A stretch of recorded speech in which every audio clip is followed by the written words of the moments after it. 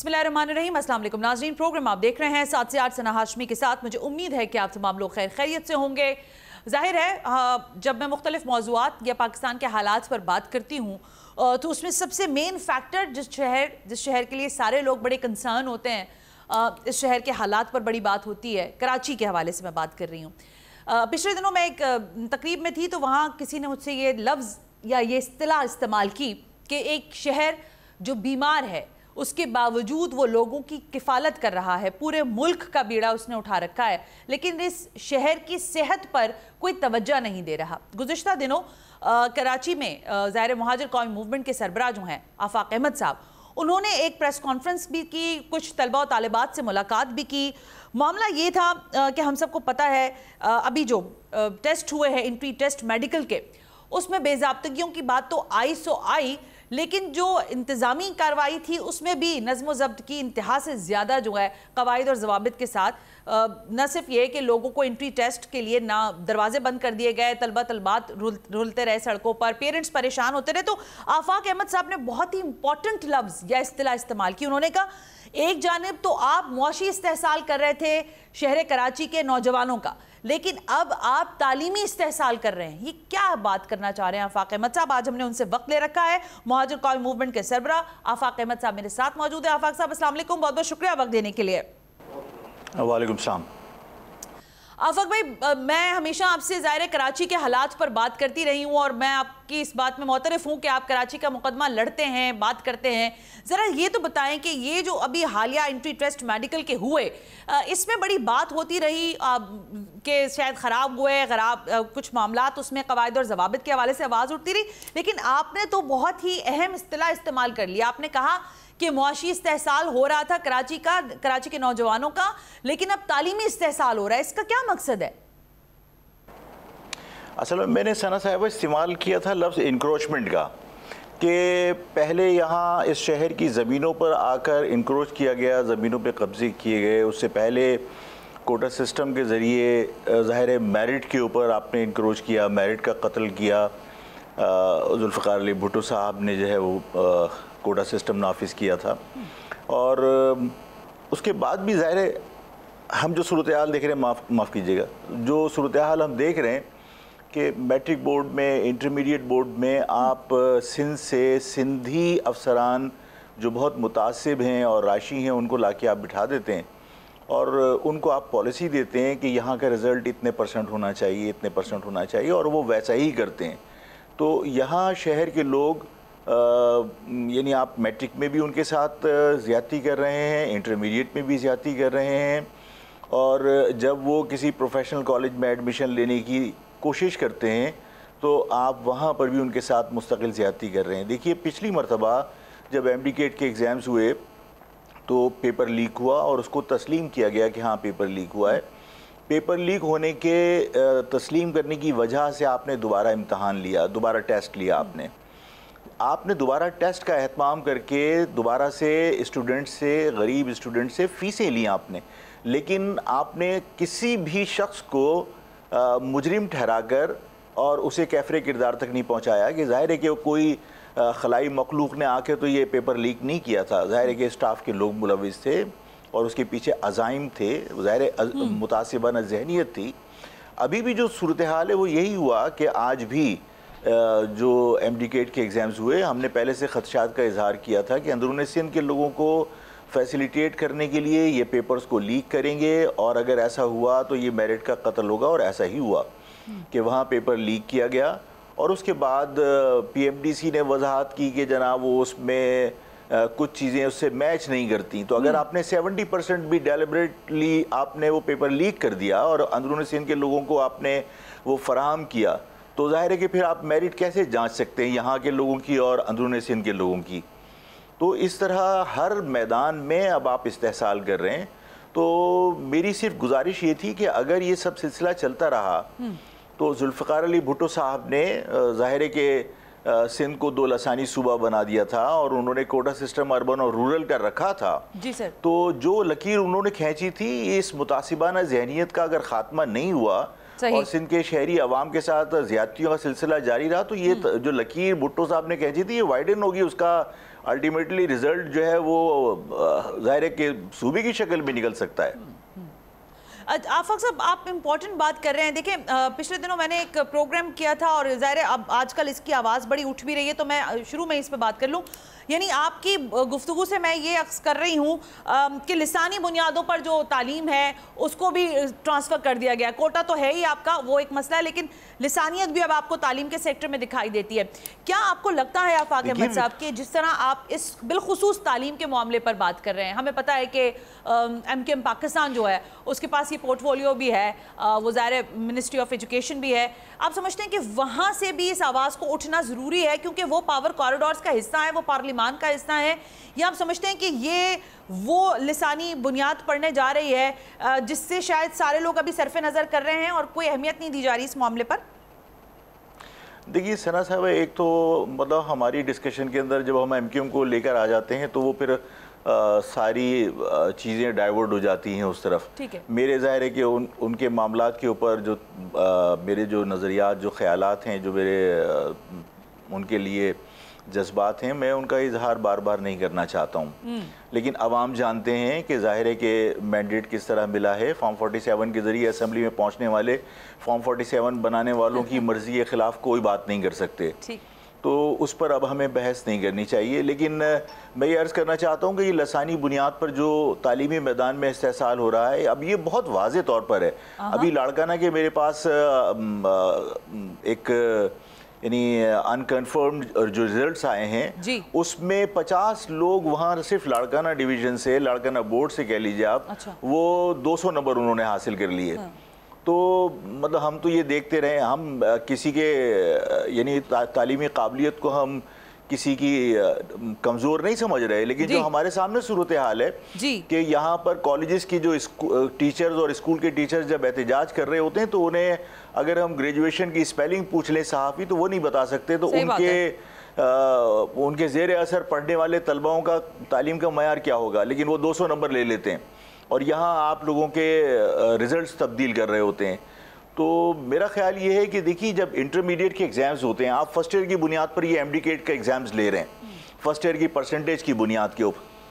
अगर आपके इंटरमीडिएट के एग्ज़ाम्स हो जाते हैं और अगर आप ये समझते हैं कि आपका इंटरमीडिएट बोर्ड उसने बहुत सलीके से ट्रांसपेरेंट और मेरिट के ऊपर उसने एग्ज़ाम्स लिए हैं और उसके रिजल्ट्स बनाए हैं तो फिर आपको एम का जो टेस्ट है, उसकी ज़रूरत ही नहीं पेश आएगी। लेकिन तो भाई आप, आप जो बात कर रहे हैं कथा कलामी के साथ आप जो बात कर रहे हैं ना क्योंकि जब मैंने आपकी ये मुलाकात और फिर ज़ाहिर है आपने बाकायदा तौर पर आपके इस खास कर मेरिट के हवाले से और तालीम के हवाले से जिस तरह की आपने गुफ्तु की वो मीडिया पर उसके टिकट्स भी चले इसीलिए मैंने आपको आज जहमत भी दी। देखिए ये किस्सा जो है आफाक अहमद साहब आप भी मुझसे बेहतर जानते हैं ये दिहाइयों का किस्सा है। इस इस्तेसाल की जिसकी आप बात कर रहे हैं और आपने अपनी गुफ्तु में भी अभी तस्करा फरमाया कि कोटा सिस्टम से लेकर बाकी सारी जगहों पर ये इस्तेसाल दिहाइयों तक, दिहाइयों से जारी है और मेरे मुँह में खाक, लेकिन लगता ऐसा है कि शायद ये चलता ही रहेगा। आपको लगता है कि आपकी आवाज़ इतनी तवाना है कि वो मेरिट और बिलखसूस तालीम के शोबे के हवाले से कुछ बेहतर इकदाम या पॉलिसीज़ के मुरतब किए जाने की तरफ़ इन लोगों का ध्यान ला सकती है? या ये सिर्फ़ एक आई एम सॉरी लेकिन ये एक सिर्फ़ पब्लिक ही इशू है तो थोड़ी बात हो जाएगी और फिर सब भूल भाल जाएँगे। नहीं नहीं देखिए सना साहब बात यह है कि अगर मैं कोई बात कर रहा हूँ तो हाँ। ज़ाहिर है कि ये लोगों के मतलब जज्बात की अक्कासी में कर रहा हूँ कि देखिए लोगों के अंदर ये एहसास है और बहुत शिद्दत से एहसास है कि आप सिंध के शहरी लोगों के साथ बहुत ज़्यादती कर रहे हैं और तालीमी मैदान में आप उन्हें पीछे धकेल के और उन्हें मजबूर कर रहे हैं कि आप गवर्नमेंट कॉलेज और यूनिवर्सिटियों से उन्हें बेदखल कर दें और वो अपनी महँगी पढ़ाई के लिए प्राइवेट यूनिवर्सिटियों का सहारा लें। अंदरून सिंध के तमाम लोगों को लाके आपने गवर्नमेंट कॉलेजेस और गवर्नमेंट यूनिवर्सिटीज़ के अंदर अकोमोडेट कर दिया है आपने जामशोरों के अंदर जो हैदराबाद डिवीज़न है, सना भाई, सना साहब ये चीज़ आप बहुत नोट कीजिएगा कि हैदराबाद डिवीज़न में आता है जाम शुरू। जी जी जिसकी जी। सरकारी जो मरदमशुमारी है उसके मुताबिक एक करोड़ की आबादी है। जी बिल्कुल और कराची साढ़े तीन करोड़ की आबादी का शहर है लेकिन मैं चले सरकारी आदाद शुमार को भी मान लूँ तो दो करोड़ तीन लाख की आबादी उन्होंने शो की।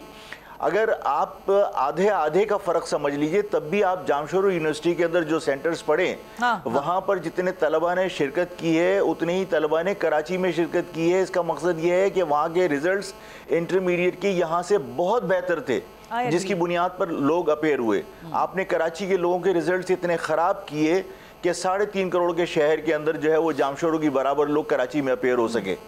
तो ये सारी चीज़ें लोगों को बहुत ज़्यादा शिद्दत से महसूस हो रही है ना, ये बिल्कुल 16 आने सच वाली बात है और ये हकायक पर मबनी बात है। ये वो जैसे कहते हैं ना कराची के असल इश्यूज़ की बात आप कर रहे हैं लेकिन मेरा सवाल शायद अक्सर आपसे रहा हो या तकरार के साथ है। ये आवाज़ जिसको आप बुलंद कर रहे हैं इसमें कोई हम आवाज़ है? या आप समझते हैं कि ये आवाज़ वक्ती तौर पर आप उठा पाएँगे और कुछ अरसे बाद आप भी ज़ाहिर है थक जाएँगे और इसके बाद मामला वैसे ही चलते रहेंगे? यानी कोई इम्पैक्टफुल आप समझते हैं कि ये चीज़ देखिए मुझसे आप ये अगर जवाब चाहें कि मैं ये कहूँ कि हाँ ये मुमकिन नहीं है तो ज़ाहिर है मेरा जवाब ये नहीं होगा। मैं एक इंसान की हैसियत से और okay. बिंगा मुस्लिम मेरा ये बिलीव है कि जिसे मैं दुरुस्त समझता हूँ मैं उसके ऊपर काम करता रहूँ कोशिश करता रहूँ और नतज मेरे इख्तियार में नहीं है नतज खुदा के हाथ में मेरी नेक नीति से कोशिशों के बाद मुझे अल्लाह से बहुत उम्मीद है कि इसके नतज बेहतर निकलेंगे कोई चीज़ ज़ाय नहीं होती। हम्म। मैं जो कुछ कर रहा हूँ जो कुछ कह रहा हूँ आवाम उसको सुन रही है और ज़ाहिर है कि मैंने बार बार मुतनबे किया है सिंध गवर्नमेंट को कि आपकी इस मुतासिबाना कार्रवाइयों की वजह से आपके इस तासुब की वजह से? यानी हम मैं आपको एक और बात बताऊँ कि देखिए कराची के लोगों को क्या इस बात का एहसास नहीं होगा कि सीएम हाउस के अंदर जो सिंध के वडेरे आकर बैठते हैं उनकी खिदमत के लिए या उनके इंतज़ाम के लिए आप जो है वो उनतालीस अरब रुपये रख रहे हैं और उसके बाद आप 26 अरब रुपए रख रहे हैं आप कराची की डेवलपमेंट के लिए जो साढ़े तीन करोड़ का शहर है खंडर बना हुआ है। तो ज़ाहिर लोगों को ये एहसास होता है कि आपका सीएम हाउस जो एकड़ के ऊपर हो सकता है। देखिए आप बिल्कुल दुरुस्त कह रहे हैं। मैं आपसे ये करना चाहता हूँ कि ये जो एहसास है ये एहसास मैंने अगर बार बार मुतनबे किया है तो कोई ज़रूरी नहीं है कि आफाक अहमद की ज़िंदगी में आफाक अहमद की बात पूरी हो हाँ। लेकिन ये आप बात लिख लीजिए कि नाइंसाफ़ियाँ और जो एथनिक बेसिस के ऊपर होने वाली नाइंसाफ़ियाँ हैं वो कभी भी तमाम लोगों को एक जगह नहीं रखती फिर तकसीम होना पड़ता है। एक मिनट आप जो ये बात कर रहे हैं देखें ये बात हम सब जानते हैं कि जो इस्तेसाल है कराची का। मैं अभी आपसे एक दो और सवाल भी कराची के हवाले से करना चाहती हूँ लेकिन देखिए वोट बैंक जो है वो पंद्रह साल से अगर मैं अगर अपने होश की बात करूँ तो तकरीबन बीस बीस साल से तो मैं देख रही हूँ कि पाकिस्तान पीपल्स पार्टी तबाना बनती है। में जी सॉरी मैं मैं आफाक भाई ये कह रही हूँ कि कराची की अगर आप बात कर रहे हैं ना जिस तरह आप बात कर रहे हैं कि इस्तेसाल हो रहा है सीएम हाउस का बजट इतना है कराची का बजट इतना है लेकिन इस शहर से वोट पीपल्स पार्टी को पड़ रहा है। इस शहर से वोट एम क्यू एम को पड़ रहा है। इस शहर से वोट दीगर और जमातों को पड़ रहा है। नहीं पड़ रहा तो मुहाजिर कौमी मूवमेंट को नहीं पड़ रहा। देखिए मैं अब इसकी इसकी वजाहत आपको कर देता हूँ। महाजर कौमी मूवमेंट ने 2000 में जब इंतबात जीते थे तो सब इससे खौफजदा थे कि ये ज़ाहिर है कि कौम के मामले में मुखलिस हैं। ये क्योंकि किसी की उंगली पकड़कर इलेक्शन नहीं जीता तो ये असम्बलियों में जाके कुछ करेंगे। हमारे खिलाफ ऑपरेशन भी हुआ और उसके बाद ज़ाहिर हमें बहुत टारगेट किया गया। देखिए सना साहिबा बात यह है कि इस शहर में जो क़वतें काबिज़ हैं वो कभी भी यहाँ जेनवन लीडरशिप को प्रमोट नहीं होने देती। उसकी वजह यह है कि जब कान पकड़ के किसी को आप असम्बली में ले जाते हैं तो उससे अपनी मर्ज़ी के काम ले सकते हैं। अच्छा। इस शहर में बहुत सारे लोगों के मफादात हैं। और इसके ऊपर मैं बहुत लंबी बात कर सकता हूँ, दलाइल के साथ बात कर सकता हूँ। मैंने प्रेस क्लब में एक प्रोग्राम के अंदर ये बात कही थी कि इस शहर में कत्ल की ज़िम्मेदारी आप लोग हम पे अल्ताफ़ पर डाल देते हैं। बिल्कुल हमारे लोगों के साथ झगड़े हुए हैं, लेकिन इस शहर में जितने कत्ल हुए हैं, वो सारे के सारे हमारे खाते में ना डालिए।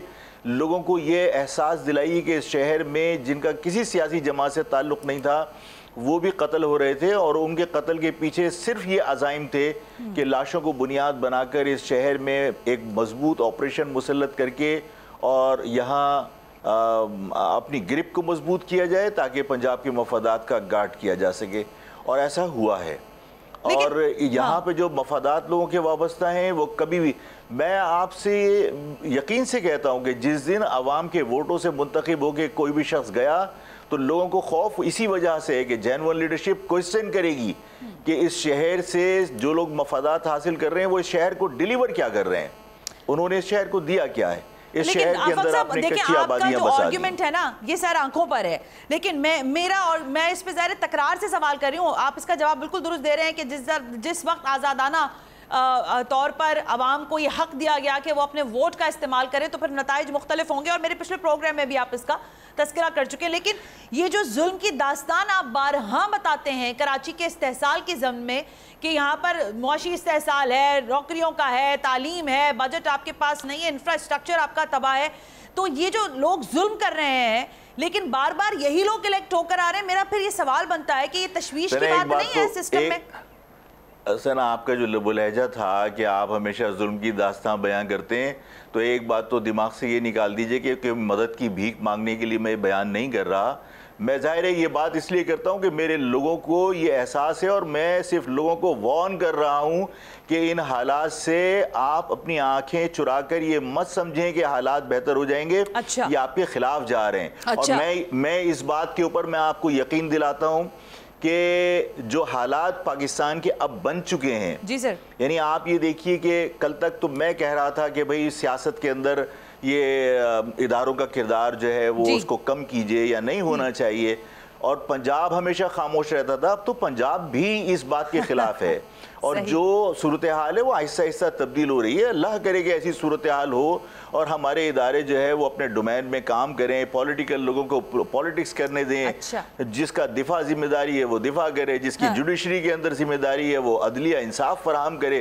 तो इन ताला यहाँ पर सूरत हाल बेहतर हो जाएगी। भाई आपकी बात के साथ मैं एक ब्रेक ले रही हूँ लेकिन इनशाला माशाल्लाह सुबहान अल्लाह अल्हम्दुलिल्लाह से आगे बढ़कर कॉन्क्रीट लेवल पर काम नहीं होता ना? अच्छा आप मुझे बता दीजिए कि आप ये जिस किस्म की आप गुफ्तु मुझसे कर रही हैं कि ये इन और माशाल्लाह और सुबहान अल्लाह पे मामला नहीं चलेंगे तो मैं क्या मेरे साथ होने वाली ज़्यादतियों के ख़िलाफ़ बंदूक उठा के तहरीक चलाना शुरू कर दूँ? मुझे एडवाइस कीजिए आप मैं मैं, मैं वो कर लेता हूँ। आफाक भाई मैं आपको एडवाइस करती हूँ एक ब्रेक के बाद। इस तरह नहीं होता है इस तरह नहीं होता। बिल्कुल ठीक कह रहे हैं आप। मैं एक ब्रेक ले रही हूँ सर ब्रेक ले लेके वापस आते हैं। तो आफाक अहमद साहब जो गुफ्तु कर रहे हैं वो इस मुल्क के जो हुलिया, जो दगरगू हैं, जो हालात हमारे सामने हैं, और बड़ी अच्छी बात इन्होंने अभी कही है कि जो कुछ अब हम देख रहे हैं, सिंध में हो रहा है, वो एक अलग मामला है। वहाँ, यहाँ की जो रियलिटी है, वो बिल्कुल डिफरेंट है। पंजाब के जो इम्पैक्ट हैं सियासत पर, वो भी एक बहुत बड़ा सवाल है। मैं ब्रेक से वापस आने के बाद आफाक अहमद साहब से ये सवाल करना चाहूँगी कि इस वक्त पार्लियामान और अदलिया आमने सामने है। लिखा जा रहा है, कहा जा रहा है प्रोग्राम्स हो रहे हैं कि टकराव की कैफियत है। जेप्रोटाइज करने की सिस्टम को कोशिश की जा रही है। इस बारे में आफाक अहमद का क्या कहना है right after this break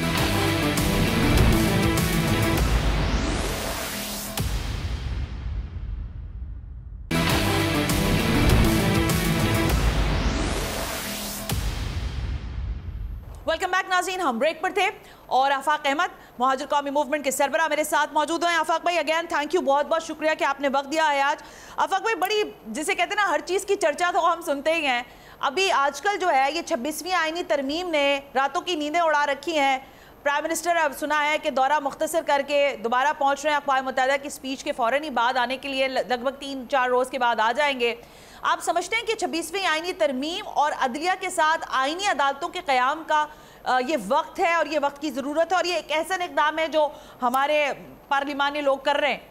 देखिए आइनी अदालतों की क्योंकि मुकदमात का एक अंबार लगा हुआ है सुप्रीम कोर्ट में इसलिए इस वक्त तो ज़रूरत महसूस होती है कि जो कॉन्स्टिट्यूशनल पिटिशन है उनको अलग से ट्रीट किया जाए उनको अलग से है सुना जाए ये बात दुरुस्त है इसमें कोई शक शुबा नहीं है।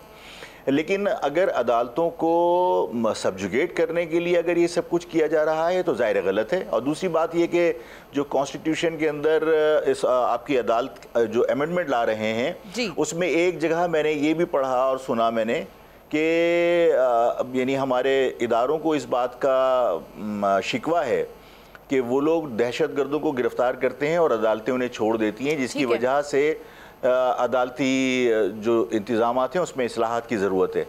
बात यह है कि अगर ये एहसास है कि दहशत गर्दों को गिरफ़्तार किया जाता है और अदालतें छोड़ देती हैं और इंसाफ नहीं मिल रहा तो इंसाफ अगर इदारों को नहीं मिल रहा तो 25 करोड़ आवाम का क्या हाल होगा? सही कह रहे हैं। तो अदालत अदालतों से अगर अदालती निज़ाम हमारा बोसीदा हो चुका है तो फिर इस अदालती निज़ाम को हम पूरी तरीके से इसकी जो है वो हमें बेहतरी की कोशिशें करनी चाहिए। अगर हम सिर्फ़ यानी जिस तरह जो कुछ चल रहा है कि साहब अदालत के अंदर जो है चीफ जस्टिस की मुद्दत में इजाफा किया जाए तो मैं हमेशा कहता हूँ कि किसी शख्स को हम इस मुल्क के लिए नागुजीर न समझें, ना बनाएँ।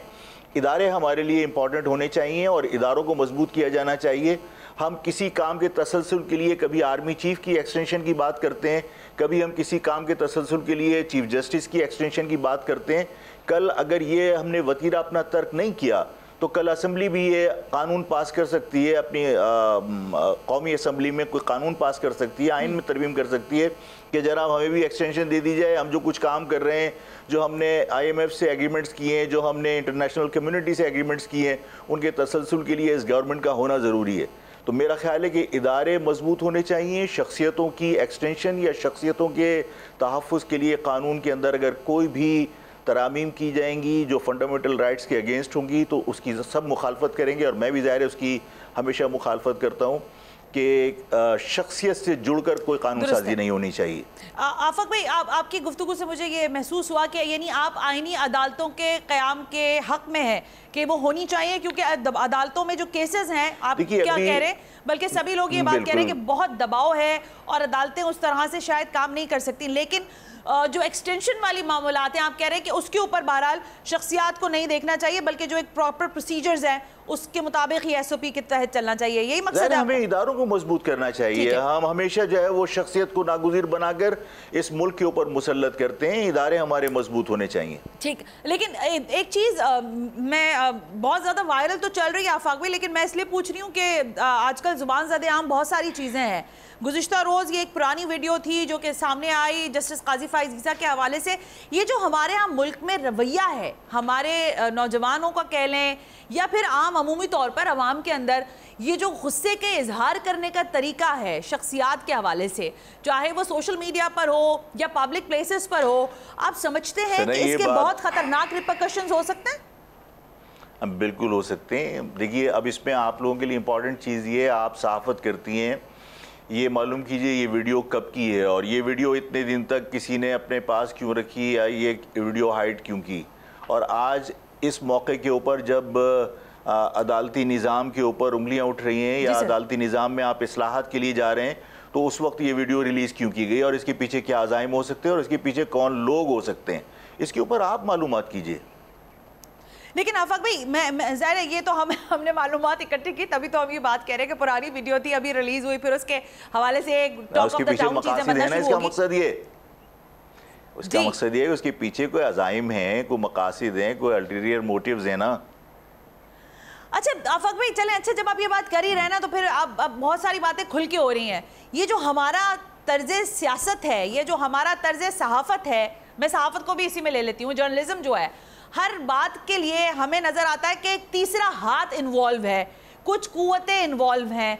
वो ला मतलब नज़र नहीं आ रही लेकिन वो मौजूद हैं और वो काम कर रही हैं। ये हम हर वक्त मलबा दूसरों पर क्यों डालते हैं? अपने सफ़ों में नहीं देख रहे कि क्या हो रहा है? सियासतदान क्या कर रहे हैं? आप चलें जर्नलिज्म को बुरा कहें कि जर्नलिस्ट क्या काम कर रहे हैं? आपको नहीं लगता कि सारा मलबा हम्म। एक ही कोर्ट में डालना यानी इस्टेब्लिशमेंट का नाम लेना ये किसी हद तक जायज़ है? नहीं नहीं मैं मतलब सारा मलबा नहीं डाल रहा मैं तो ये आपसे मैंने यही कहा। हाँ। अच्छा देखिए अगर हम कभी इस्टेब्लिशमेंट की बात भी कर लेते हैं तो आप इसको गुनाह कबीरा तस्वुर ना किया कीजिए। इसलिए कि ये इदारे हैं कौन? ये ज़ाहिर है कि हमारे ही बेटे हमारे ही भाई हमारे ही बड़े हैं ना और कौन है? ये इस कौम के लोग हैं ना। अगर वहाँ कहीं कोई गलती हो रही हो और अगर हम उसकी निशानदेही कर दें तो कोई गुनाह नहीं होता। आप असम्बली के अंदर जो लोग बैठे हुए हैं उनके ऊपर भी तो उंगली उठाते हैं कि ये करप्ट लोग हैं ये बदमाश लोग हैं ये गलत लोग हैं आप चोर हैं आपने सियासतदानों को जेल में डाला उनको भी आप कह ही देते हैं। तो किसी को भी आप जो है वो मुकदस गाय मत बनाइए ये हमारे लोग हैं अगर हम उनकी गलती की निशानदेही करते हैं तो उसके ऊपर हम मतलब आग बबूला होते हैं कि आप जो है वो नहीं, नहीं, आप, करना। बात, बात ये नहीं है। हाँ। नहीं ऐसा ना बात ये है कि देखिए ये हमारे लोग हैं ना।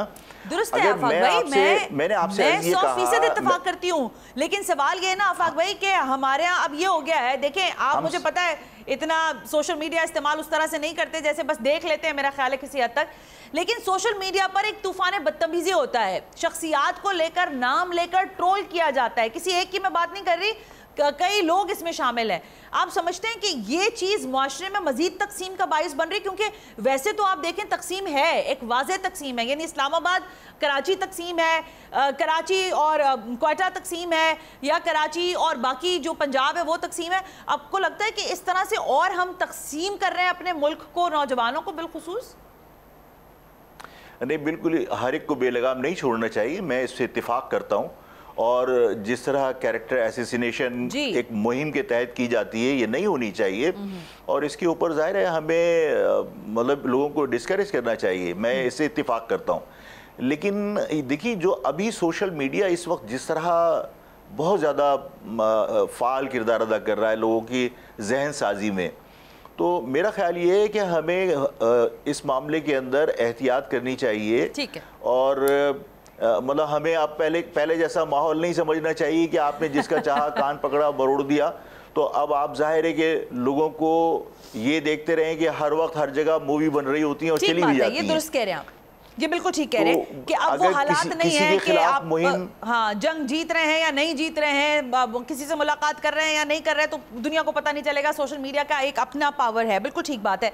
अच्छा जरा एक आगे चलते हैं। मैं मैं एक एक, एक अर्ज़ करना चाहता हूँ। देखिए आप फिर वही वन साइडेड हमारा चल रहा होता है।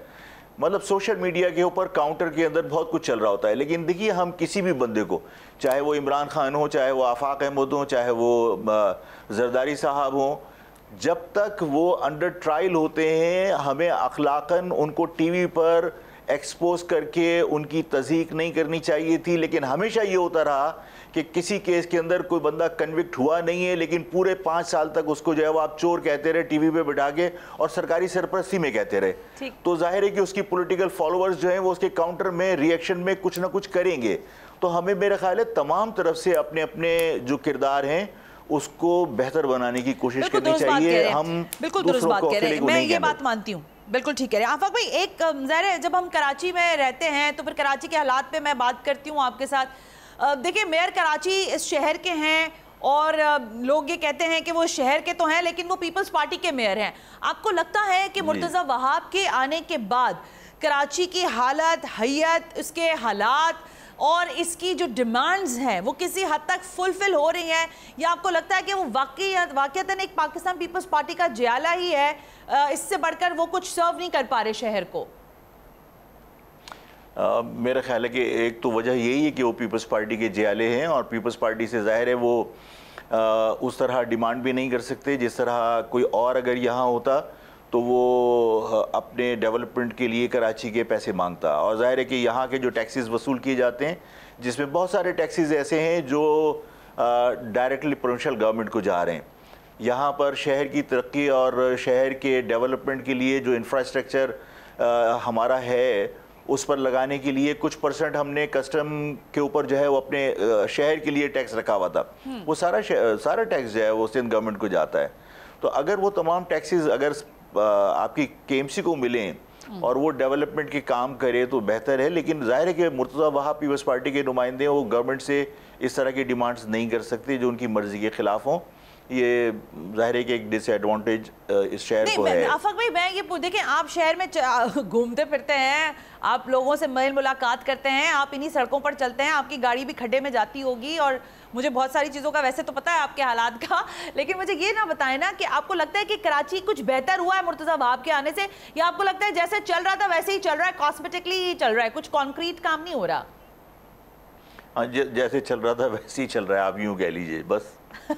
जा चले अब अगर ये बताइएगा कि ज़ाहिर पिछले दिनों मैंने देखा आपने भी देखा ही होगा जमात इस्लामी ने बड़ा ज़ोर पकड़ा शहर के अंदर। आवाज़ बने के इलेक्ट्रिक के मामले पर प्रोटेस्ट हुए पानी पर बिजली हाँ। पर शहर की सड़कों पर और सारी चीज़ों पर। हाँ। अब आपको लगता है मैदान खाली है? जमात इस्लामी भी बोल बोल के या तो थक गई है या जो वो अब धरने की सियासत कर रही है उसका कराची से कोई लेना देना नहीं है? नहीं मेरा ख्याल है कि जो उन्होंने के इलेक्ट्रिक के लिए सॉरी इलेक्ट्रिक के इश्यूज़ के ऊपर जो गवर्नमेंट से उन्होंने मुजाकरात किए थे ना तो उसमें उन्हें नाकामी हुई है और वो हाँ। शायद इसकी सुबकी मिटाने के लिए शायद ये धरनों की तरफ़ जा रहे हैं वो तो धरना करने बैठे हुए थे ना तो तीन रुपए बढ़ गए थे बिजली के हम्म। आफाक भाई जी जी बिल्कुल मेरे इल्म में है कि उस वक्त बढ़े थे पैसे असल में जो आई हैं जिन लोगों से हम मुतालबा कर रहे हैं हम मतलब बाज़ात बड़े बड़े मिसाल देते हैं ना कि भाई आप दूध की रखवाली के लिए बिल्ली की ड्यूटी लगा दे तो क्या होगा? तो ज़ाहिर है इसी तरह आपने जिन लोगों को सौंपा है आई जिनके हैं आप उनसे जाके मुतालबा करें कि भाई आप जो है वो बिजली पैदा किए बगैर पैसे ले रहे हैं आप मत लीजिए। तो तो आए ही इसी वजह से थे यहाँ पे कि बिजली पैदा किए बगैर उनको पैसे मिले। एग्रीमेंट्स जो उन्होंने बनाए थे वो बनाए इसी मकसद के लिए थे। तो आपके इस मतलब धरने या मुतालबे से तो वो मामला हल नहीं हो रहे। ज़ाहिर है कि ये तो एक नेशनल इशू है जब तक पूरी कौम मुतहद होकर इन मामला के ऊपर और कोई बहुत कॉन्क्रीट डिसीज़न नहीं लेगी उस वक्त तक तो ज़ाहिर है कि किसी एक पॉलिटिकल पार्टी के बस में नहीं है। इसलिए कि इसमें आपके अस्करी डिपार्टमेंट्स के भी आईपीपीज हैं गवर्नमेंट के भी आईपीपीज हैं आपके बहुत बड़े बड़े जो पॉलिटिशियंस हैं उनके खुद के हैं। जो फॉरेन इन्वेस्टमेंट है तो वो तो आटे में नमक की बराबर है। दुरुस्त है। आफाक भाई, आप जब आप ये बात कह रहे हैं ना तो मेरे जहन में एक सवाल आ रहा था। आप मुझे, मैं चाहूँगी कि आप इसका जवाब कैटेगोरिकली अगर दें। एम क्यों एम पाकिस्तान कहती है कि पिंड के सारे चौधरी भी मर जाएँ तो फिर भी चौधराहट जो है वो जमात इस्लामी को नहीं मिल सकती।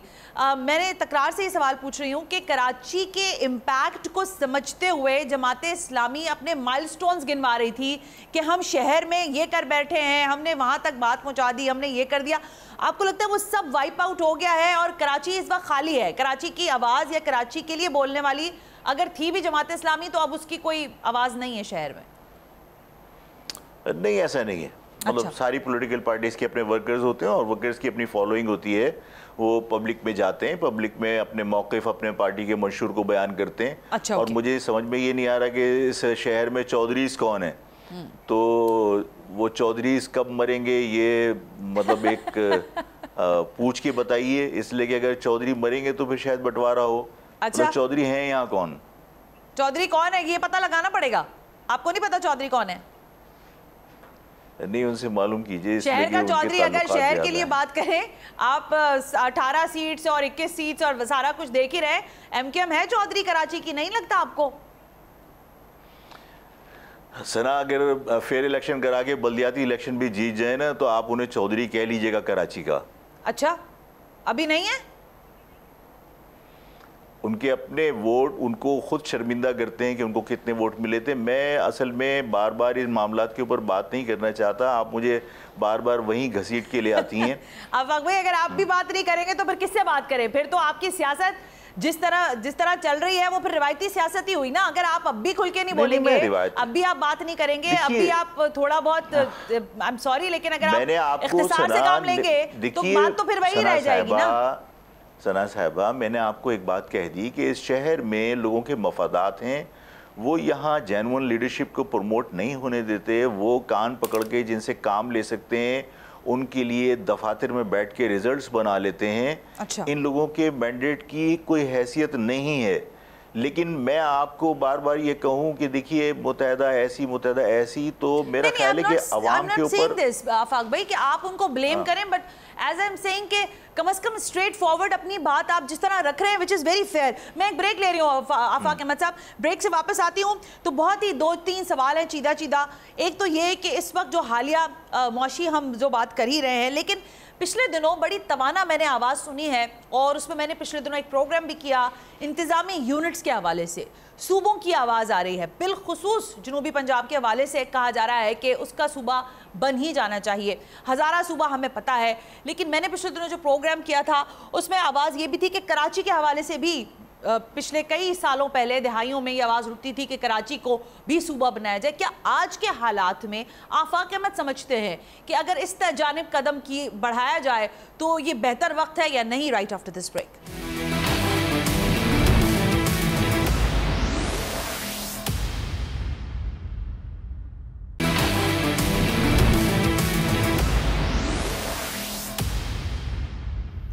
welcome back Nazeen हम ब्रेक पर थे। महाजर कौमी मूवमेंट के सरबराह जनाब आफाक अहमद साहब मेरे साथ मौजूद हैं। कुछ जिसे कहते हैं कड़वे और कुछ सीधे सवाल के जवाब बड़े अच्छे अंदाज से दे रहे हैं। आफाक भाई थैंक यू अगैन बहुत बहुत शुक्रिया। आफाक भाई, ये फरमाएँ मैंने कहा कि अभी पिछले दिनों एक ज़ाहिर पूरे एक मुझे मुझे ऐसा लग रहा था कि इस पर काफ़ी बात हो रही है और हमने भी उस पर प्रोग्राम किया। इंतजामी यूनिट्स की बात हो रही है। बात की जा रही है कि सूबे बनने चाहिए। अब आप पहले तो ये बताइए कि क्या मुल्क में इस वक्त सूबे बनने की गुंजाइश मौजूद है और अगर है तो इसका आगाज़ कहाँ से हो सकता है? देखिए, गुंजाइश तो बहुत मौजूद है, इसलिए कि ज़ाहिर है कि आप इंतज़ामी यूनिट इंतज़ाम बेहतर करने के लिए बनाते हैं और आप ज़्यादा से ज़्यादा बना, बनाए जा सकते हैं। इसमें कोई बुराई नहीं है। लेकिन क्योंकि हम लसानी बुनियादों पर बहुत बुरी तरह तकसीम हैं और अभी क्योंकि खैबर पख्तूनख्वा और बलूचिस्तान के जिस तरह के हालात हैं और पूरी कौम फ़िक्रमंद है वहाँ के हालात से तो हम्म। मैं समझता हूँ कि अभी कोई नया महाज खोलना अक्लमंदी नहीं होगी गो कि मैं खुद एक जनूबी सिंध सूबे अच्छा। का हामी हूँ और मेरी मेरा मुतालबा रहा है लेकिन मैं समझता हूँ कि अभी खैबर पख्तूनख्वा के जो हालात हैं जो बलूचिस्तान के हालात हैं और हम अभी जो मुआशी तौर पर हमारे यहाँ इन अनस्टेबिलिटी है। अगर हम इसको कंट्रोल कर लें और हमारे खैबर पख्तूनख्वा के हालात बेहतर हों हमारे यहाँ मुआशी स्टेबिलिटी आ जाए और तमाम लोगों को रोज़गार के मौाक़े मिलने लगे तो हो सकता है कि फिर सूबों को बनाने पे किसी को एतराज़ ना हो और ये आसान हो जाए। लेकिन अभी इन हालात में मेरा ख्याल है कि हमें जल्दबाजी नहीं करनी चाहिए जो खैबर पख्तूनख्वा और बलूचिस्तान के हालात हैं। अगर सिंध के। अंदर ही सपोज़ कीजिए कि इस बात को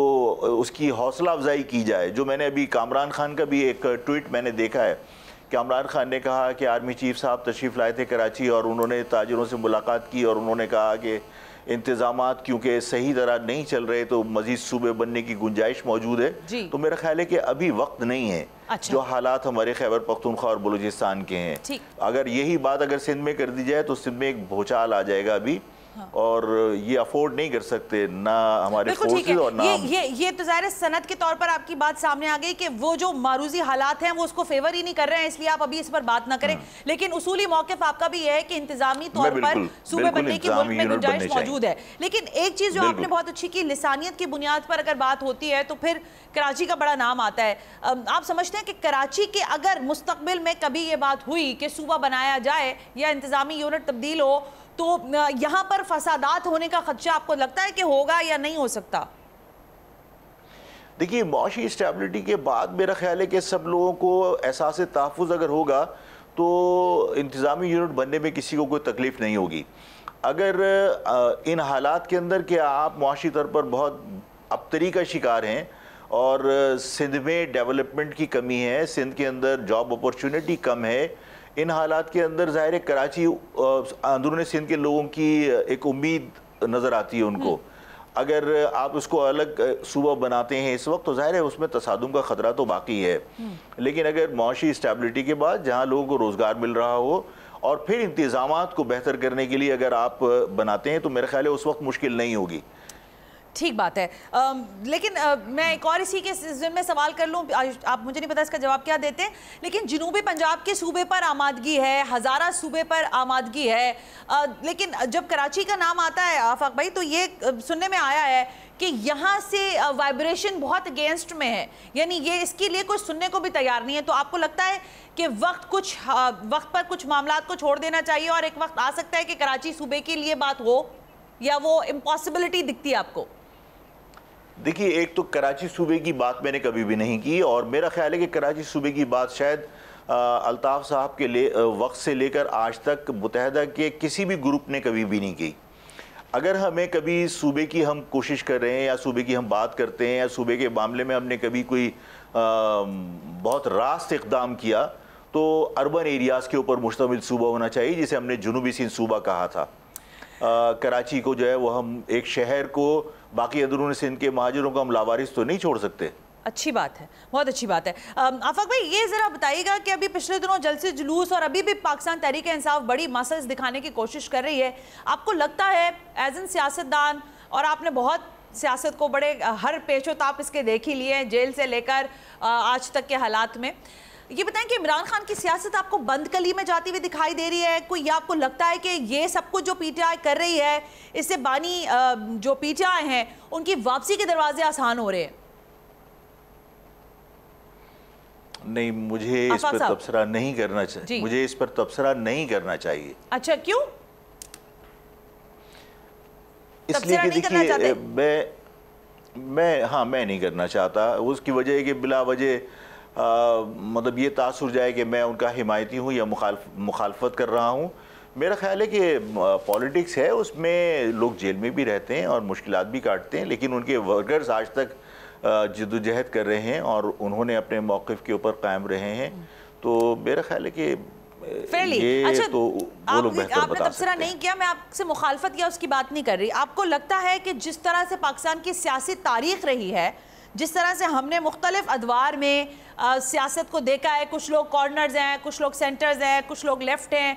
आपको लगता है इससे जो अभी पाकिस्तान तहरीक इंसाफ के हालात हैं, इससे ये बहुत, जब इनका रिबटल होगा तो वो ज़्यादा इम्पैक्टफुल होगा?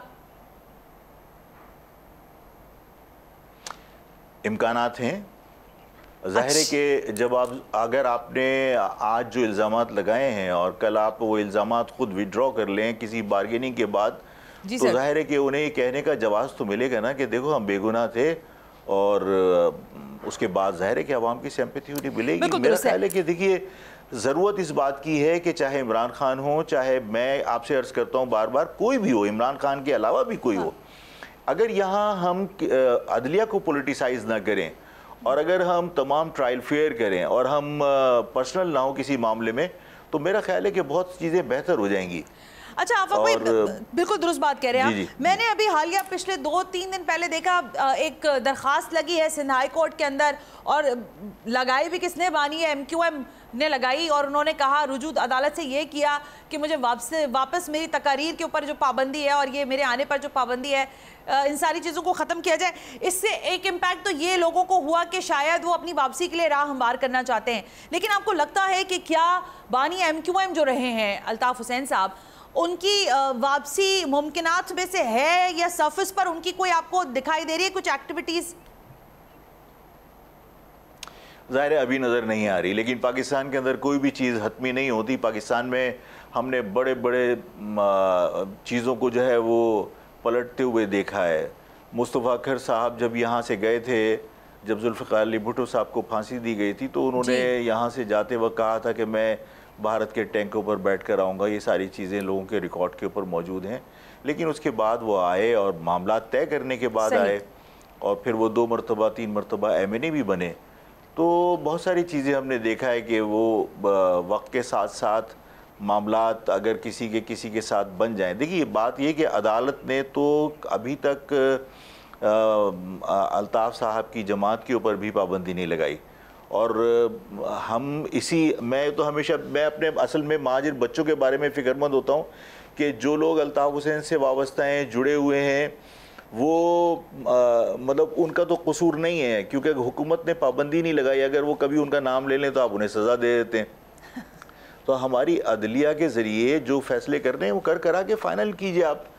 लेकिन ये असल में हमेशा जोड़ तोड़ के मामला पाकिस्तान में रहे हैं और कल अगर अल्ताफ़ साहब की ज़रूरत पड़ी तो अल्ताफ़ साहब से भी बात हो सकती है, उसमें क्या अल्ताफ़ साहब दस मरतबा माफ़ी मांग चुके हैं। अच्छी बात कह दी आफाक साहब आपने कि अगर कुछ हालात बदलते हैं तो फिर अल्ताफ़ हुसैन जैसी शख्सियत की है, उनकी भी वापसी, आपको लग रहा है कि कुछ हालात उनको फेवर कर सकते हैं? क्योंकि माजी हमारा ऐसा रहा है। Well thank you very much Afaq Ahmad sahab. बहुत बहुत शुक्रिया हमसे बात करने के लिए। Thank you very much Muhajir Qaumi movement के सरबरा आफाक अहमद। कुछ गुफ्तु कर रहे थे।